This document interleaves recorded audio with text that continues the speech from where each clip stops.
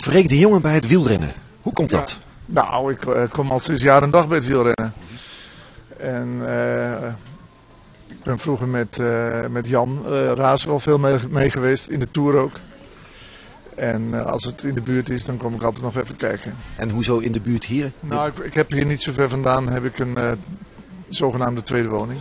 Je zegt, eh, je volgt het al lang. Wat is zijn een van de mooiste herinneringen zo als je dat tourcircus inloopt? Nou, dan eh, gaan mijn gedachten onherroepelijk terug naar 1953. Toen won Nederland voor het eerst eh, het ploegklassement in de Tour. Ja, dat was eigenlijk het moment. waar- De radio eh, had dan een verslagje. Dat was eh, nou hooguit 10 minuten per dag. En dan eh, moest je ook nog maar afwachten eh, hoe laat. En dat was, dat was allemaal ja, buitengewoon eh, geheimzinnig en heel erg, heel erg leuk. En mijn vader was volkomen gefascineerd door de Tour de France. Die hield ook een schrift bij waarin hij de, de, de volledige uitslag elke dag opschreef en stand bijhield. Ja. Dus dat, ja, ik ben, daar, ben daardoor besmet geraakt.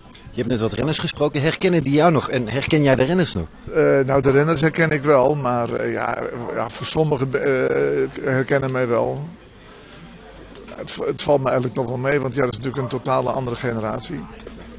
Maar ja, misschien ook door mijn belangstelling voor de, voor de, voor de ploeg. Want ik ben anderhalf of twee jaar geleden nog een keer bij Dauphiné geweest hier.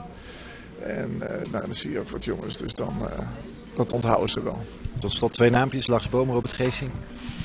Ja, nou ja, eh, Boom die moet het leren dit jaar. Hè? En eh, we, we hebben al, al meteen hoge verwachtingen van hem. Eh, Maar ik, ja, ik vind hem wel een ontspannen, ontspannen jongen die, die zijn tijd wel afwacht. En Geesink, ja, die is, echt, die is echt geconcentreerd. Misschien soms wel een beetje overgeconcentreerd. Misschien verklaart dat waarom hij zo vaak valt. Maar ja, gisteren was het fantastisch. En hij is ook nog jong. Dus eh, ja, daar kunnen we wel plezier van gaan beleven.